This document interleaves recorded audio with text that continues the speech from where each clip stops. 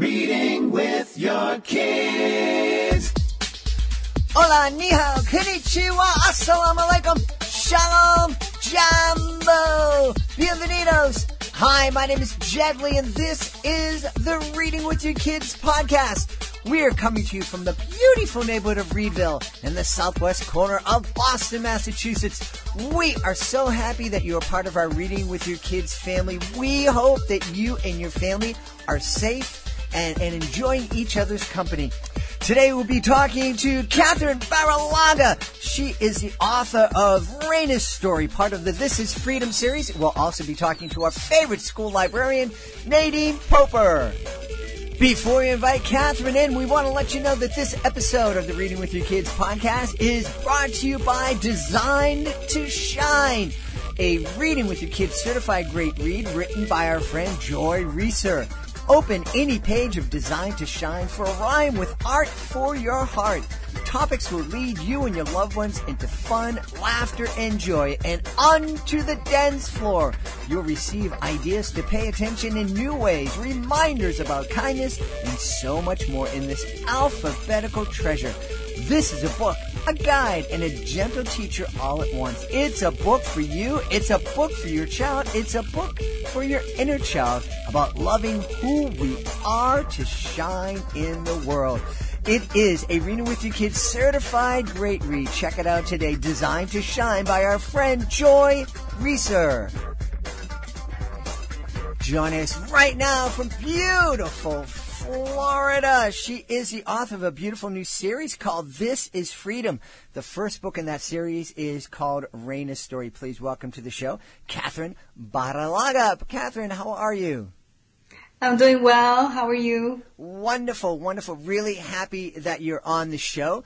Uh, and really happy to learn more about Rayna's story. I understand that Rayna is an elephant. Yes, she's a, a circus elephant um, who was taken away from the jungle when she was just a baby to perform tricks in the circus. And Rayna's story is basically about how she meets this girl named Katie, who is a big fan, and her journey to liberation.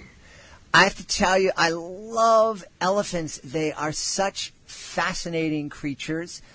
And um, I mean, I uh, my my first encounter with an elephant was decades ago at at the old uh, Boston Franklin Park Zoo, and it was heartbreaking for me because they had this big elephant house, but it was those that old school uh, zoo. So the elephants were there. Were, there were three elephants, and they were in a cage, and they stood next to each other, and they had a chain on their on their ankles, and they they couldn't move, and they just kind of stood there eating all day long and, and I loved seeing these, these, these creatures, but it was heartbreaking for me to see them just kind of chained up. Yeah, um, me too. I, the first time I've seen an elephant was in captivity. I've seen them in zoos and in the circus, mm-hmm. and I think it you're kind of blinded by the the amazingness of the shows and the performances that you don't I, I don't think I realized right away what was happening until I, I was much older and I went to the circus that I had started questioning what's going on here and I began to do my own research on animals in captivity. Mm-hmm. So tell me a, a, a, little bit more about this story be, between Rayna and this this young girl kind of befriends her.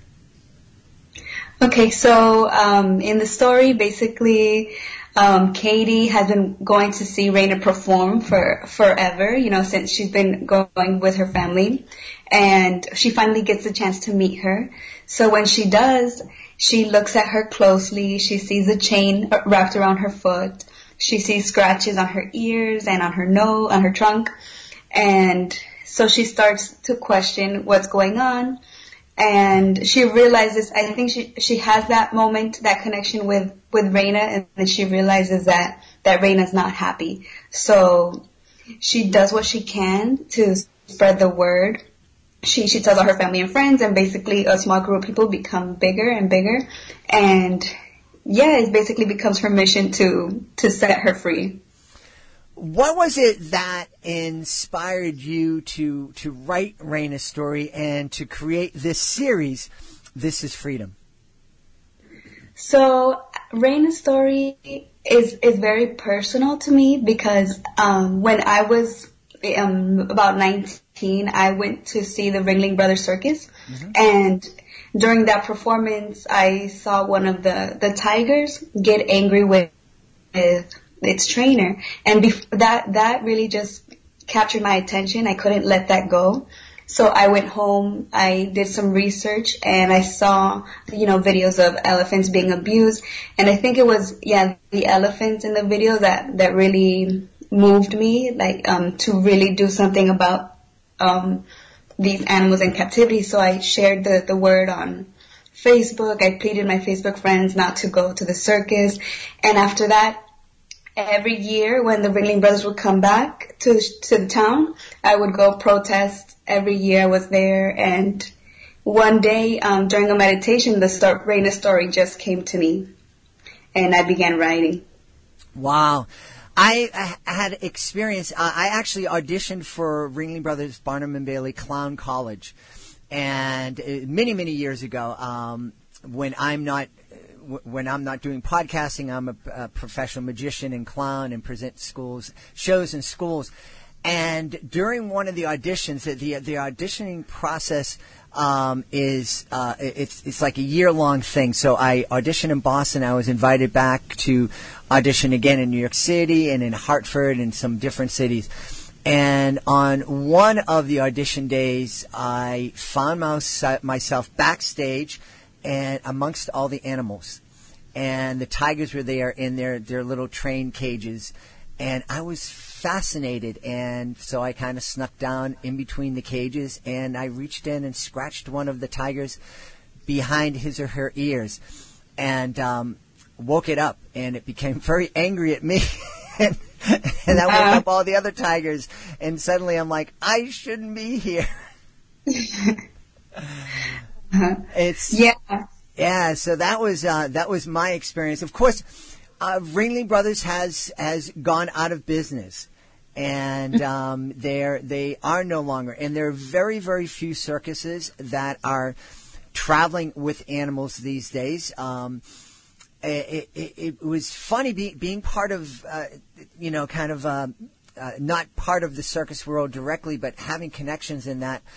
I was concerned. I'm like, how can we have the circus without the animals, without the tigers and the elephants and, and the spectacle of that? But as we've discovered, um, circus is surviving quite well without animals with, with productions like Cirque du Soleil and, and so many others around the world.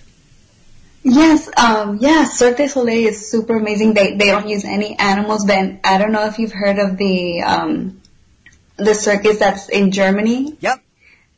Yeah, now they're using holograms and stuff. So yeah, people find ways. You know, we're we're evolving as humans, and we're we're finding ways, and it's still very enjoyable. Now, have you had any close encounters with elephants? So, so from that experience, like I said, it, it really um, ignited a passion in me in trying to be a voice for the voiceless. And um, in 2018, I had the opportunity to go to Thailand and visit um, an, an an elephant sanctuary where they rescue elephants in Thailand that that work. They do like logging and uh, more like um, carrying uh, um, the tourists, you know, around um, giving like the rides, elephant rides. Um, so they do that kind of stuff in Thailand, and this this sanctuary rescues elephants that that are in that work. And so I was had the opportunity to to visit the sanctuary. Yeah, that must have been incredible for you. It was it was incredible. These elephants, they they live so many um, years with exposure to humans, so they have um, a few illnesses, a couple of illnesses, and maybe just like used they're used to being around humans, so they're not ready to go fu- fully into the wild. So they're in this sanctuary where they're able to live their lives, but with just supervision of humans. Mhm. What's the reaction been uh, from folks who've read Rayna's story? Um, I believe. Well, I, I've done like a few readings at schools, and the children they already know. You know a lot of children they just know. Before i even finish the story they they understand that that the that ele- the elephants aren't happy in the circus. And yeah i feel like intuitively children are just have this understanding that it's not a, an environment for wild animals so i i personally have gotten really great um well feedback. The the children love seeing Rayna because I bring you know the our, my elephant mascot, which is Rayna, and, and they love it, and they they are happy to see her. They give her a hug. They tell her how they're happy that she's free. So it's been great. It's been great feedback. Now you mentioned that that this is freedom is a series. What other animals are we going to meet in future um, uh, additions to the series? Okay, so um, my next book, which I mentioned, was Lola's story. She's an orca in captivity, and you know we'll, we'll be um, reading about her journey to freedom. I have plans to make one about a tiger in a zoo, and those are my three right now that I'm be working on. How is this journey um, to become a children's author uh, changed you? You know, to be honest, it was like I said, it, it, came in a meditation where before this I never thought of myself as an author or a writer. So it was kind, it was like um, an unexpected change. Mm-hmm. But um, it, it's been amazing to to interact with children in this way, reading to them. I, I understand the importance of literature to children that I didn't I didn't have this type of um, experience before. So I understand how reading is so important to children and, and educating them about animals. Um, that's, that's amazing for me. Yeah, it's such a, uh, a great way when, when uh, kids meet characters that they can relate to and a, a, a, story that they can immerse themselves in. It's a, a, great way to teach a lesson as opposed to just sitting down and, and lecturing them and giving them facts and figures. Yes, yeah, they're engaged. Um, we like, yeah, they they have the character, they have stickers, they they have each other to interact with. So yeah, it's a it's a nice experience.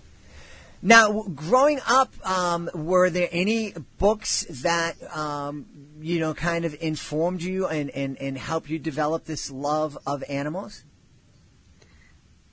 No, I, a book maybe similar to this, to the one I've written. I, as growing up, I've never seen anything like that. It was more as when I became more of a teenager and adult that I started, um, that I really, um, this passion ignited in me. Wasn't really much of a child. Yeah. Mm-hmm. Mm-hmm. Now, one of the things that, that you've mentioned here in the show and that you mentioned in, in some of our correspondence is that you hope to give voice to the voiceless what what what does that mean to you, and, and who are we talking about when you're talking about the voiceless?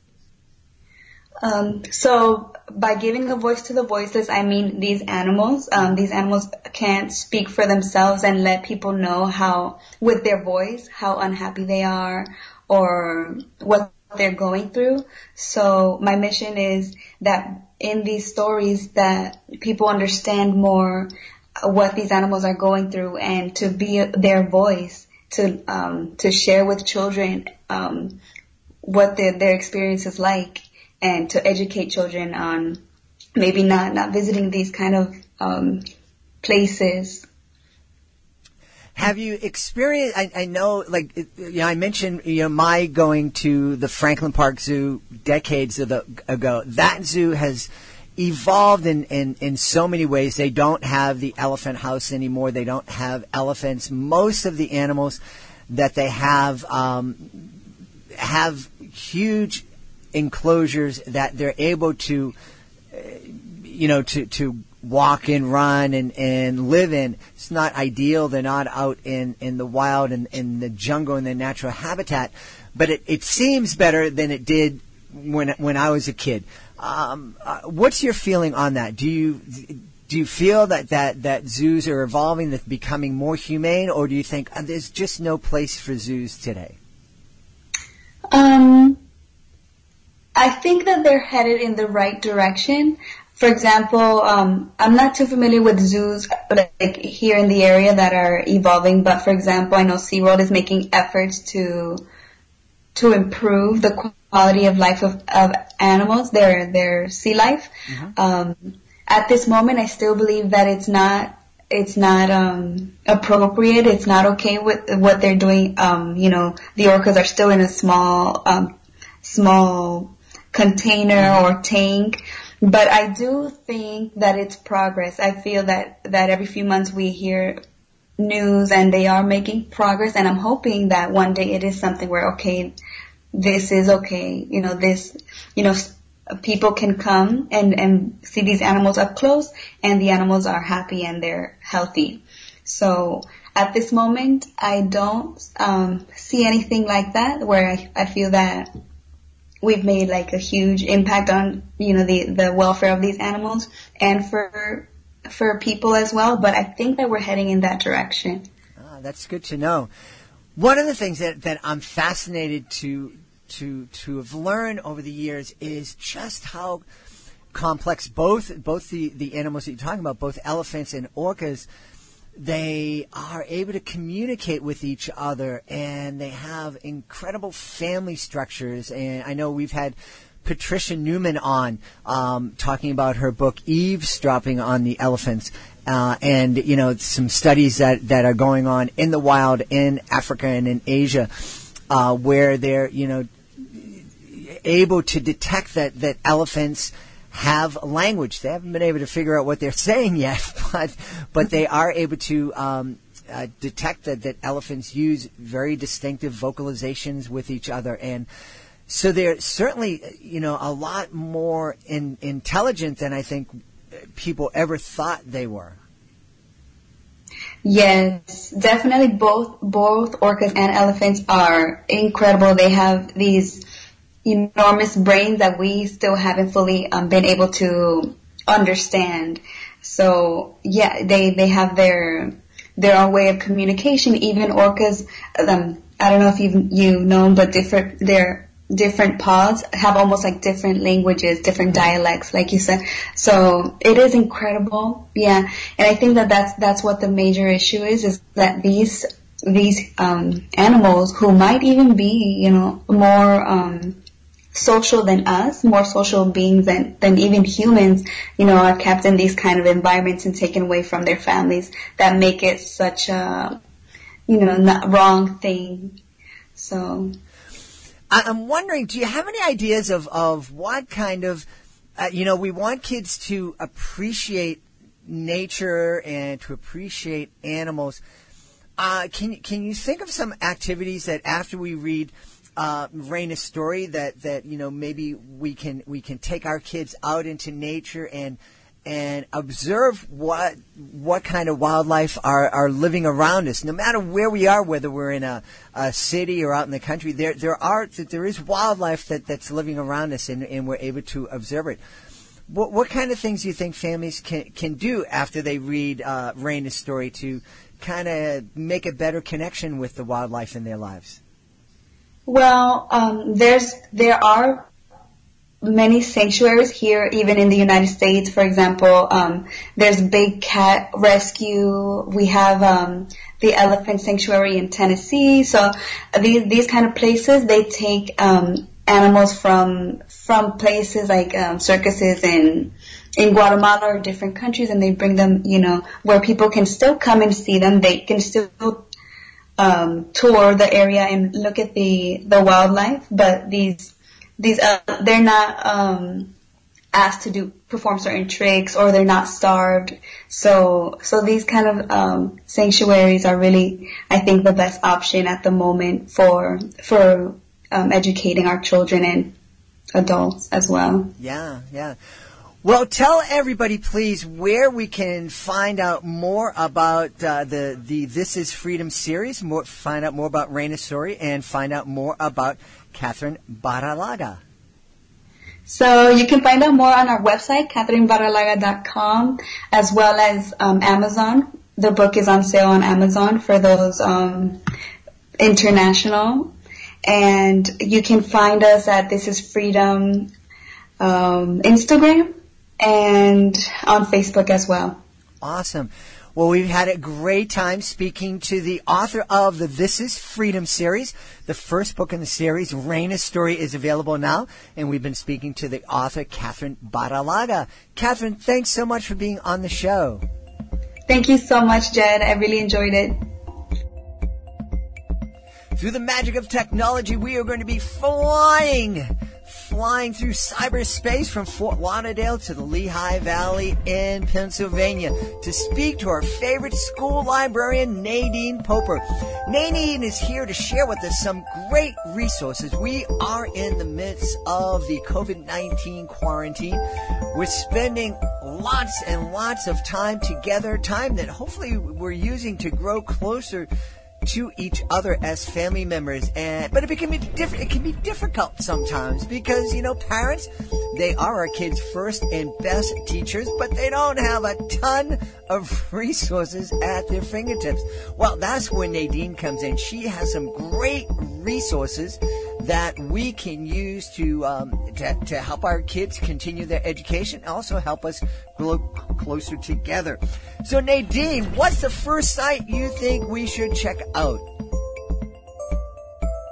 Oh, well, the first site that um, I want to recommend, um, and first of all, the, the sites that I'm going to share with you all have uh, no copyright infringements. And I think that's the biggest thing we want to make sure we support um, are any read alouds where you know full permission was given by the publisher for the works read aloud. But um, and I know during this this time right now, a lot of publishers and authors themselves are opening up and and saying like, go ahead, read my books out loud, um, record them. You know that's that's great, uh, and that that's absolutely wonderful that there's a lot of support that the publishers are doing for us. So, but we still want to be mindful of that. So the first site that I want to show or explain is what's called Storytime with Bill. Mm-hmm. Now it is a YouTube channel and it is in full support of little brown young readers. So, um, it is with full permission that anything read by Bill is given full permission from the publisher. So he is reading all kinds of uh, little brown books for young readers, and he's a he seems like he's a hoot. So that is definitely one site you want to check out, and it is a YouTube channel. Now, one of the things, uh, before we go any further, I, I, I, absolutely agree with you. I think it's so important that um, we respect copyright, we respect the intellectual property rights of of authors and of publishers. Can you just expand a little bit about what that means and, and why you think that that's so important? Um, well, it's it's I don't even know all that there is to know about copyright because it is such a vast, vast uh, wealth of information out there, and so. But the biggest thing is with the the read aloud you just want to make sure that if you're you know, reading it and recording it that you do have full permission because there's um there's it's very possible that the attitude exists that if they somebody can find the book read aloud online then they will not go and purchase the book. Um, so that really is one of the biggest concerns out there and we have to remember that the authors and publishers, this is their livelihood. Mm-hmm. So we certainly want to make sure that, you know, we are, you know, we're, we're respecting that, like you said, Jed. Yeah, it's just, it's the same lesson that I, I think we should be teaching our kids about music and about movies yeah, it doesn't seem like what's the big deal? Um, you know, the that that I'm watching, you know, the, a, a bootleg movie at home. You know what? If you're you're talking about a, a big mega uh, uh, Hollywood production company, then yeah, maybe it's it's not hurting them, and you know maybe that that that that actor that's got twenty million dollars to to be in that movie is not being hurt directly, but there are a lot of there are a lot of smaller artists out there, smaller movie firms, smaller authors, and they are dependent on you know people buying their intellectual property, buying their work, and it's just a moral thing too. I mean. You know, uh, it's we don't teach our kids that it's okay to steal from the big bank. It's just wrong, you know. So we we do need to respect that. Yes, exactly. I, I totally, totally agree with you there. And um, continuing on with some of the other wonderful sites that are out there, um, there's also HarperCollins Publishing is also doing the same thing. Um, there's a YouTube channel called Storytime Read Aloud, and that is all HarperCollins work being read aloud with their full permission. Uh, so you can also go there, and when I click on that one um, from HarperCollins, you're getting the. There's a book today perfect for uh, St. Patrick's Day. It's called Three Ways to Trap a Leprechaun. So, and that is by Tara Lazar. Uh, so that is available today along with tons of other HarperCollins books on that YouTube channel with full permission. Excellent. So uh, we- we're, we're we're suggesting folks check out Storytime with Bill and also Storytime Read Aloud, which are both channels that can be found on YouTube. Yes, absolutely. Excellent, excellent. Well, there's a, uh, a a couple of great sites that uh, I, I know. One of the things that's happening with a lot of parents is, you know, they're home with their kids and they think, oh, now I have to be the teacher. I've never done this before, and this is so challenging. uh, I read one meme uh, yesterday uh, that uh, you know uh, the meme said, I, I, I homeschool my kids for an hour and a half. Teachers deserve to get a million dollars a week. you know, I did. I think I read that exact same one, and I just laughed. and and it, it's a different skill set. But the wonderful thing is you don't need to do it by yourself. There's some great resources out there, and here are two wonderful resources that we can check out with our kids: Storytime with Bill and Storytime Read Aloud. Two great YouTube channels that are reading stories with full permission of the publishers and authors. Hey Nadine, Yes. this is awesome. This is a great start. Um, I'd love for you to come back. Um, and and share some other resources with us and and just uh, next week. Does that sound like a good deal? that absolutely works. Yes. All right, we've been talking with our favorite school librarian, Nadine Popper. Please be sure to check out her books. Oh, tell us, uh, tell us uh, your latest book.